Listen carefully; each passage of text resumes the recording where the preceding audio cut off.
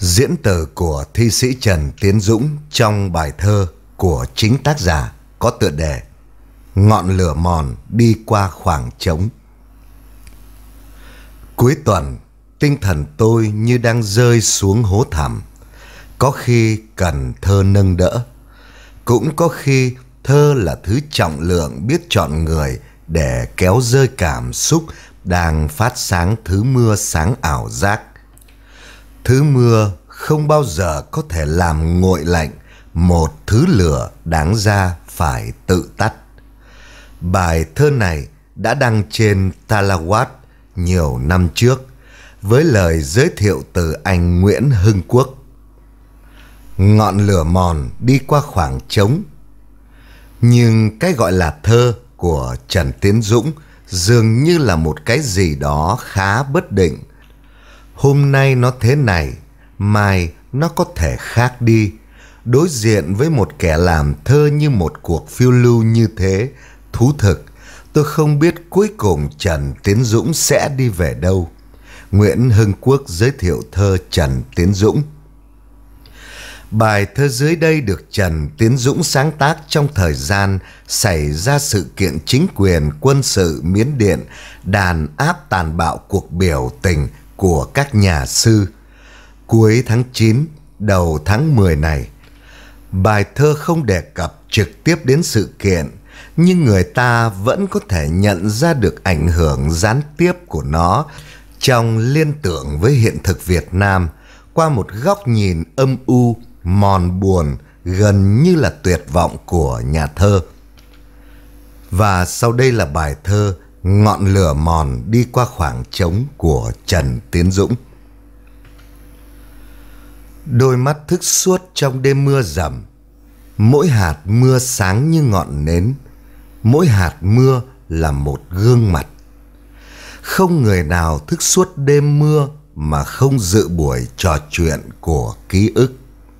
Những câu chuyện cũ rít khua lên thứ âm thanh của bầy đàn sẽ không chịu đựng được nếu không đập tay lên chán.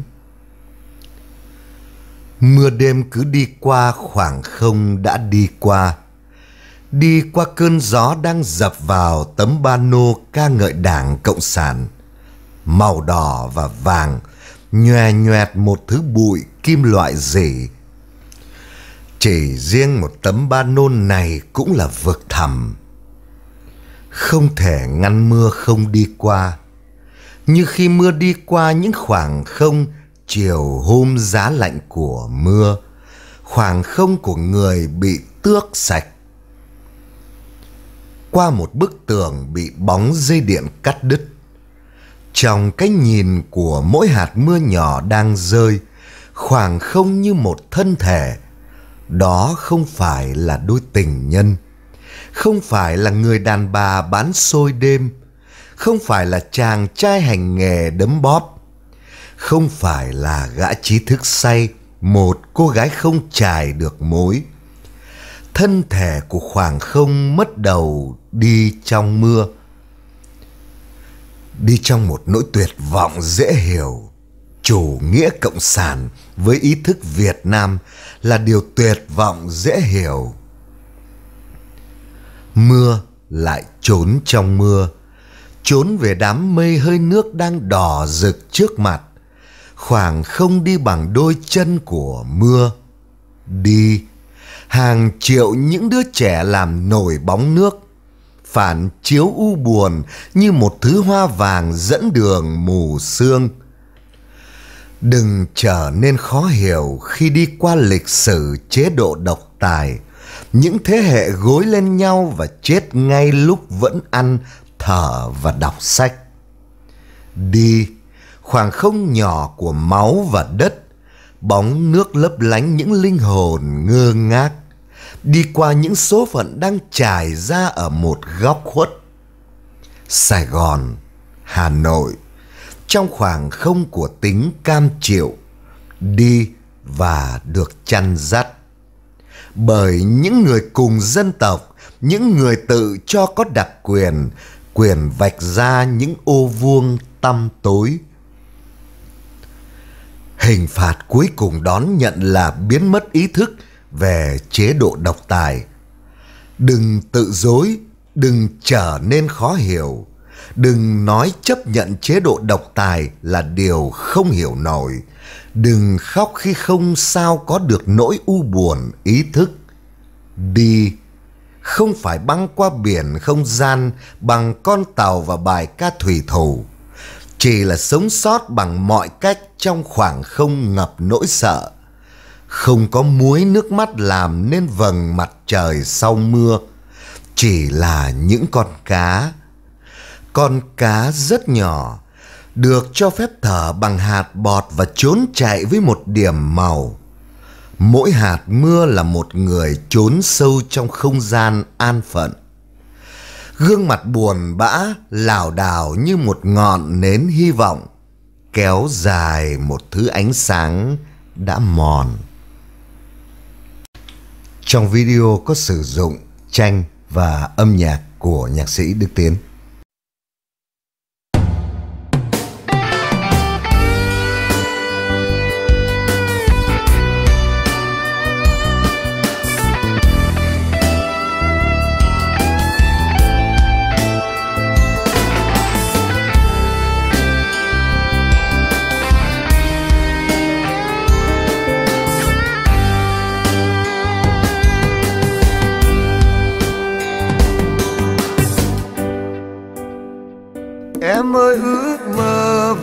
Trở lại Như chưa bao giờ tắt với ai.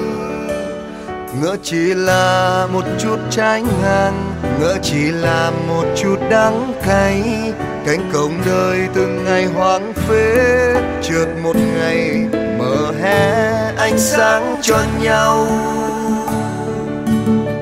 Em ơi, khát khao, vẫn luôn trực trao dẫu đôi lần đời nếm niềm đau ngỡ chỉ là toàn những xót thương, ngỡ chỉ là từng ngày sẽ qua.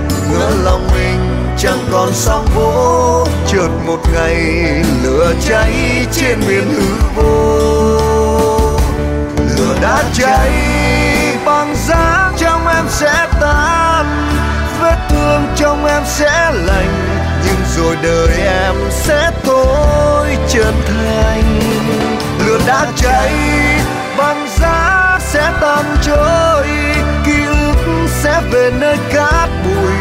Rồi đời em chờ sớm mai, nghe thấy lửa cháy không